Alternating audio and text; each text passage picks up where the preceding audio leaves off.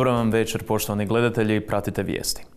U posljednjem kvartalu protekle godine nastavljen je trend pada proizvođačkih cijena u poljoprivredi.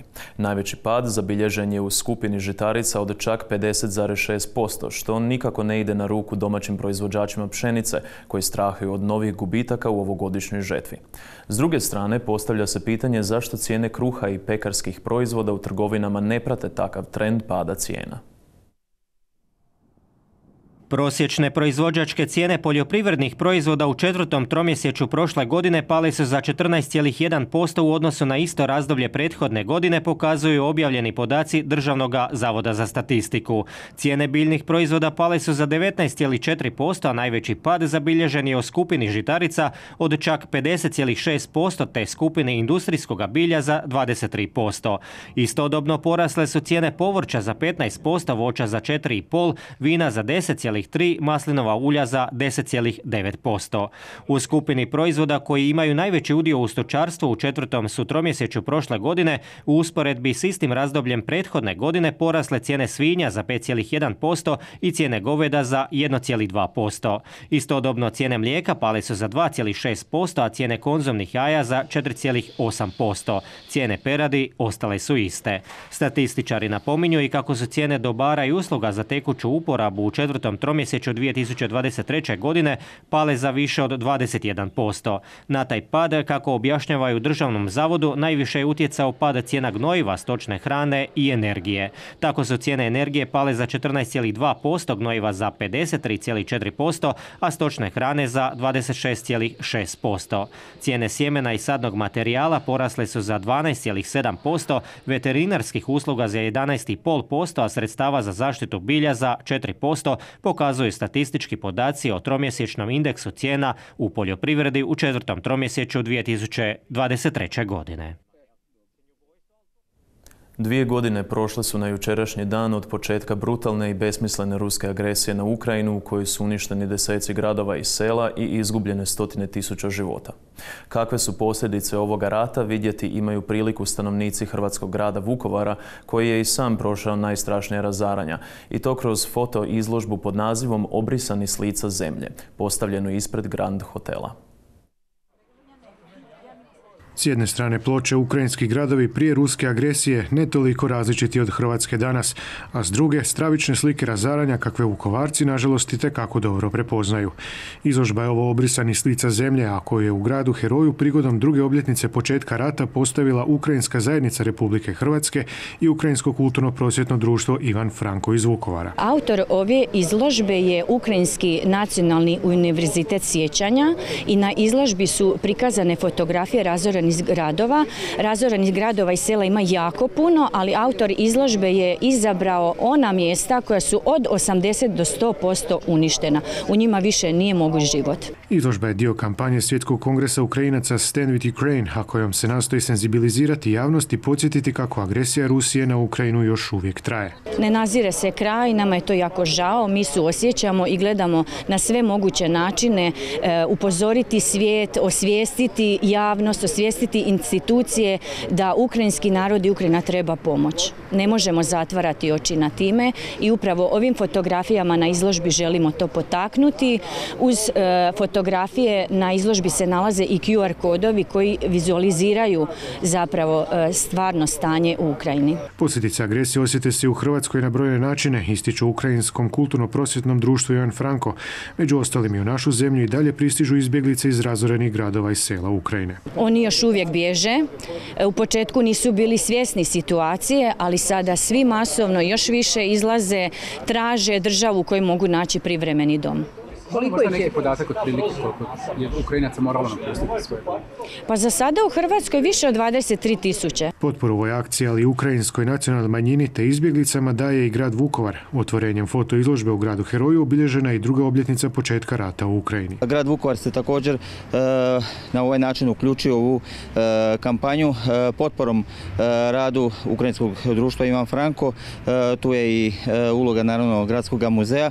Ja bih podsjetio na da je prošle godine grad Vukovar, u gradu Vukovaru otvoren e, svečano i ukrajinski dom, čija je izgradnja uvelike napravljena uz potporu grada Vukovara. Naglasio je kako grad Vukovar u tom smislu i dalje stoji na raspolaganju ukrajinskom narodu, a upravo ovih dana gradonačelnik Ivan Penava održao je online sastanak s predstavnicima ukrajinskog grada Melitopolja s ciljem pružanja svojevrsne pomoći i informacija vezanih uz obnovu razruženih gradova, u čemu Hrvatska, pogotovo Vukovar, i tekako imaju iskustva. Tenis je sve popularniji među mladima. Za mnoge je on samo rekreacija i zabava, no za druge predstavlja nešto puno veće. 11-godišnja Nera Skender članica je udruge Sportić, te je svoj talent i vještinu spojila s napornim radom, pa je tako iz igraonice došla do reprezentacije. A sudeći po rezultatima koje postiže, vrlo je moguće da će Nera uskoro postati nova Dona Vekić ili Iva Majoli. Najbolje se stvari često događaju slučajno i kroz igru. Takva je priča i s Nerom Skender, mladom sportskom nadom koja postiže izvrsne rezultate u tenisu. U sportiću je napravila prve teniske korake, da bi nakon nekog vremena počela u ovom sportu graditi uspješnu karijeru. Bila sam viceprvakinja u Hrvatskoj u parovima i sama. E, upala sam u hrvatsku reprezentaciju e, i bili smo na, u Estoniji na Winter Cupu, tamo smo bili drugi. Trebali smo proći na finale u London, ali su Britanke bile domaćini pa su oni prošli. I Estonija je prošla, ali nema veze, to bilo je vrlo lijepo iskustvo i sretna sam zbog toga. Bez tenisa, kaže, u životu bio je bilo jako dosadno.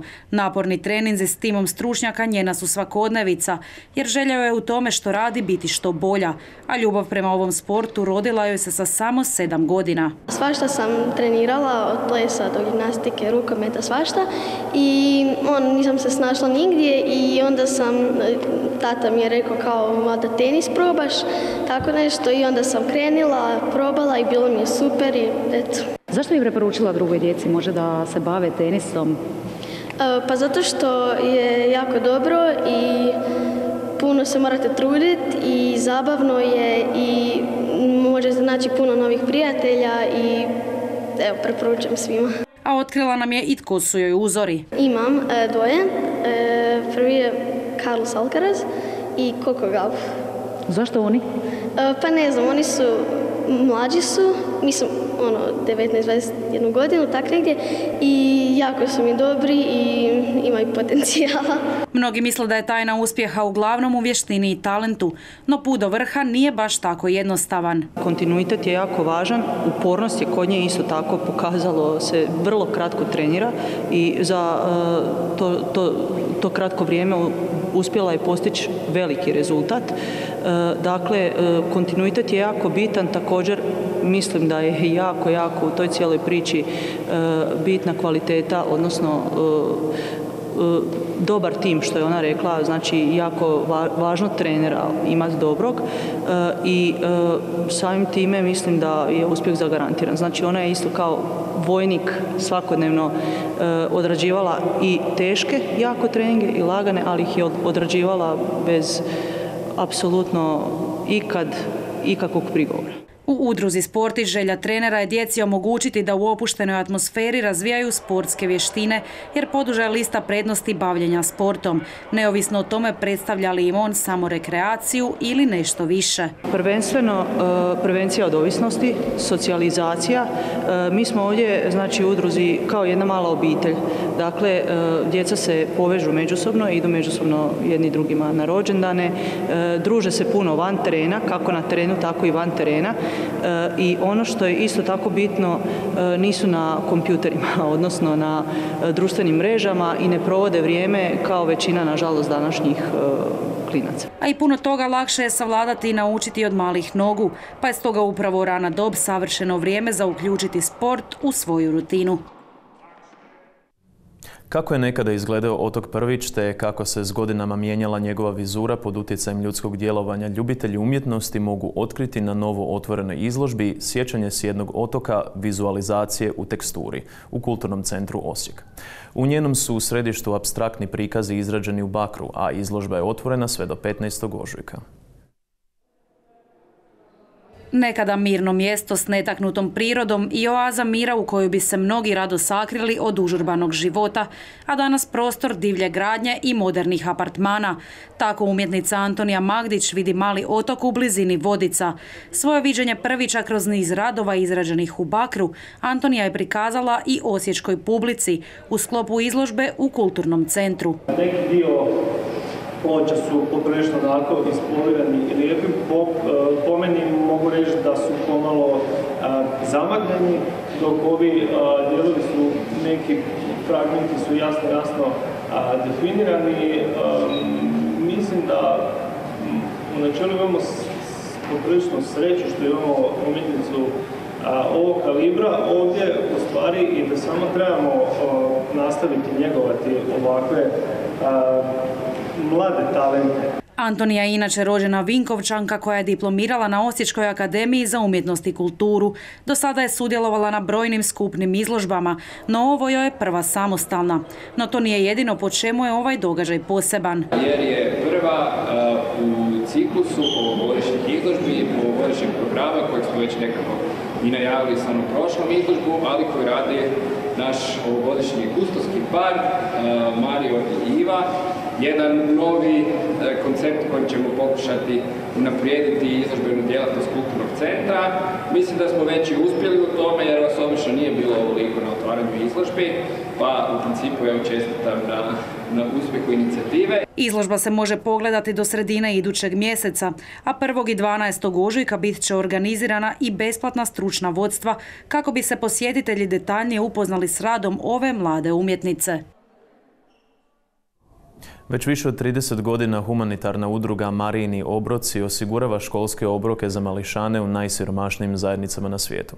U toj misiji potrebna im je naravno pomoć, a na najljepši način uključilo se Osječko dječje kazalište humanitarnom izvedom predstave Palačinka, Pjesmuljak, Puž, Put i Patuljak.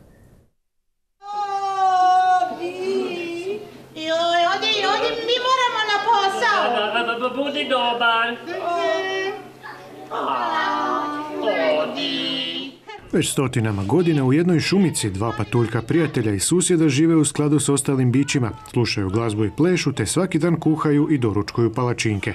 No jednoga dana neočekivani gost unosi nesklad u njihove živote te se patuljci po prvi puta posvađaju. Zaplet predstave palačinka, pjesmuljak, puž, put i patuljak Ivane Aleksandre Vukičević, a koja je u stvarnost pretvorena na kazališnim daskama Osječkog dječjeg kazališta Branka Mihaljevića. Ova je predstava jučer imala i svoju posebnu izvedbu i to humanitarnu, jer svi su gledatelji svojim donacijama pomogli udruzi Marijini obroci u misiji da nijedno dijete u svijetu ne bude gladno. Ova udruga djeluje od 1992. godine, a svakoga dana nahrani čak 2,5 milijuna djece u najsiromašnijim zajednicama svijeta. Ovo nije prvi puta da mlada osječka publika i dječje kazalište pomažu Marijinim obrocima, jer ranije su već imali brojne humanitarne izvedbe predstava kao i koncerte i druge akcije.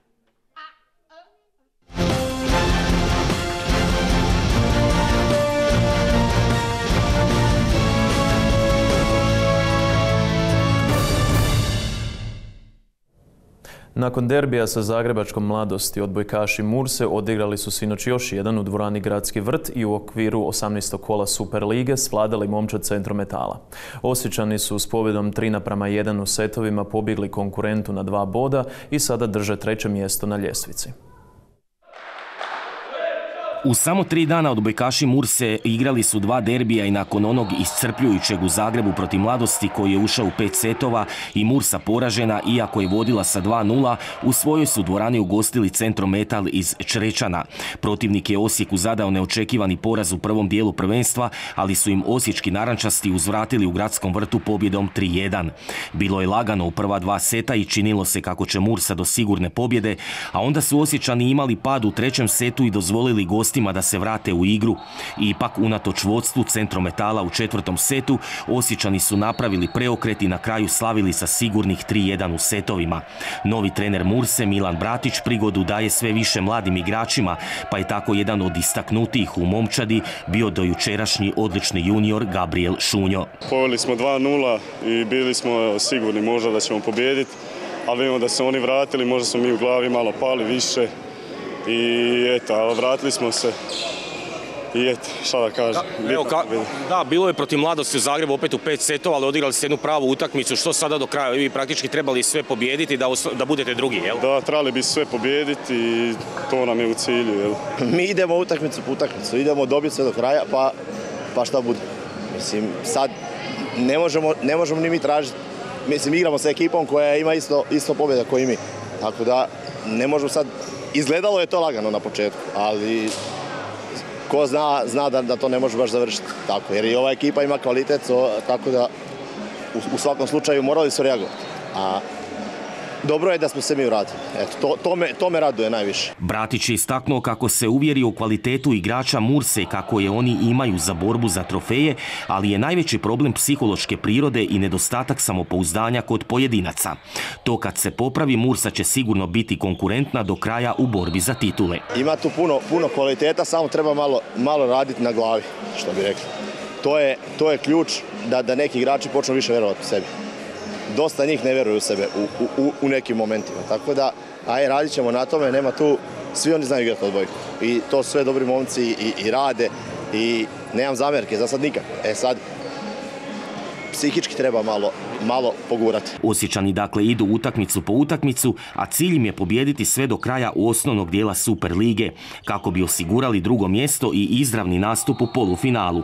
No već u utorak Osjećane čeka polufinale kupa u Kaštelama kod Ribole i to će biti pravi derbi. A Mursaši kao dvostruki osvajač kupa u posljednje dvije godine žele ponovno doći do titule najboljih u tom natjecanju. U derbiju 20. kola prve lige i u najvećem derbiju prvenstva košarkaši vrijednosnica Osijek svladali su Kvarner u Rijeci rezultatom 78 naprema 72. Osjećani su napravili veliki preokret u toj utakmici, ali isto tako novom pobjedom skočili na prvo mjesto na ljestvici. U velikom derbiju prve lige domaćin Kvarder protiv Osjećana imao je punu dvoranu i podršku navijača i tako sjajno otvorio utakmicu gdje su gosti bili šokirani i neprepoznatljivi. Domaćin je imao visokih 17-0 pa i 25 prema 6 da bi brokeri četvrtinu završili s 30 primljenih koševa. No uslijedio je veliki preokret Osjećana. Sve preostale četvrtine pripale su bijelo-plavima trenera Domagoja Kujundžića i agresivnom igrom natjerali su riječane na pogreške, a s druge strane vrijednosnice su bile precizne u šutevima i razlika domaćih se sve više topila. Do odbora su osjećani smanjili na minus 11, a onda u trećoj četvrtini došli do izjednačenja da bi u posljednjih 10 minuta igre došli do prednosti od 7 koševa te ju sačuvali do kraja i slavili sa 78-72. Ovom pobjedom košarkaši vrijednosnica Osijek stigli su Kvarner na prvom mjestu i sada obje momčadi imaju isti omjer od 18 pobjeda i samo dva poraza i bit će najveći kandidati za povratak u elitno društvo HT Premier ligu. Osječki sastav predvodio je novi igrač Bjelanović s 22 koša, pa sjajni kapetan Kujundžić sa 18, Ešton je zabio 12 koševa. Sljedeći susret u sklopu 21. kola vrijednosnice Osijek igraju protiv podstrane u subotu u Osijeku i tu se očekuje nova pobjeda brokera. Ekonomski fakultet u Osijeku u utorak otvara svoja vrata prvom znanstveno-stručnom dijalogu pod nazivom Regionalni razvoj u Hrvatskoj, razvojna tranzicija Slavonije. Početak je u 11 sati u auli Glagoljice na Ekonomskom fakultetu, a cilj konferencije je potaknuti raspravu o ključnim pitanjima vezanim uz regionalni razvoj Hrvatske. Očekuje li nas pak u novom tjednu kraj kišnog, oblačnog i prohladnog vremena, doznajte u prognozi koju vam i večeras donosi prognostičar Kristijan Božarov.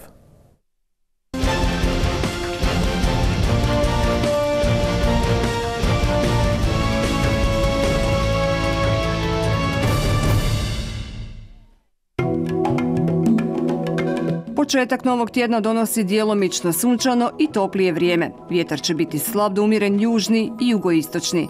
Jutarnja temperatura će se kretati od 3 do 6, a najviša dnevna od 15 do 18 celzijevi stupnjeva. Ponedjeljak će u Osijeku i okolici biti sunčan. Puhat će slab do umjeren južni i jugoistočni vjetar. Temperatura ujutro od 3 do 5, danju od 16 do 18 celzijevi stupnjeva. Bioprognoza će biti nepovoljna. Utorak će biti djelomično sunčanih i oblačnih razdoblja, ali bi trebalo ostati suho. Vjetar slab do umjeren jugoistočni i južni. Jutarnja temperatura između 6 i 9, a najviša dnevna od 17 do 20 Celzijevih stupnjeva. I u srijedu će biti dijelomično sunčanih i oblačnijih razdoblja. Biće toplo i većinom suho. Puho će slab do umiren jugoistočni vjetar. Temperatura ujutro od 6 do 9, dok će se dnevne vrijednosti kretati između 16 i 19 Celzijevih stupnjeva.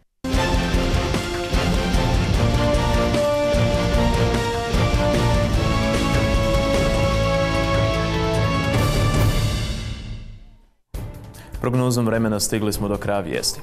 Hvala vam na pozornosti i želimo vam ugodan ostatak večeri uz naš program. Doviđenja.